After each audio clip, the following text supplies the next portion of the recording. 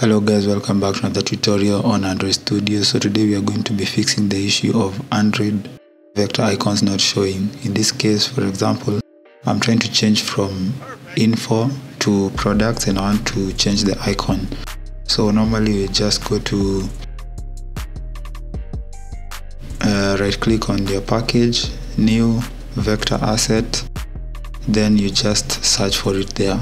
But as you can see when I try and not even before I search it shows nothing. When I search for example product it doesn't show. If I try and search for something like a restaurant icon which should be there it doesn't show. So this is how you fix it. Just gonna click on cancel or close uh, click on cancel there. Then you want to go to file settings then navigate to Android SDK if you don't know where Android SDK is it's under language and frameworks then you'll see Android SDK there. Then you want to go to this location here on your machine. So just navigate there for example your name of your PC app data. Then go to local then Android. Then when you are in Android you're gonna click on SDK SDK you're just gonna scroll and search for icons then click on material. Then you see this file called icons metadata.txt just delete it. And that's it. Close.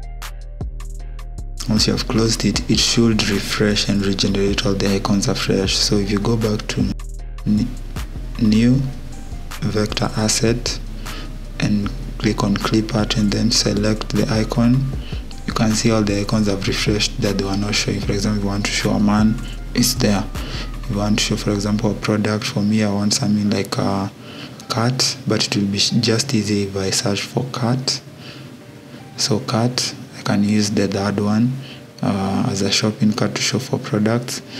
And once i click on it and then click on next and rename it to what i want it to be for example products then click on next and finish. It should show up because I've already named the title and the ID so it's just going to refresh and show. If you go back to here it's going to refresh and show.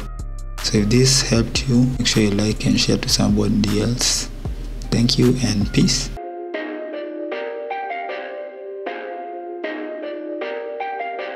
Perfect.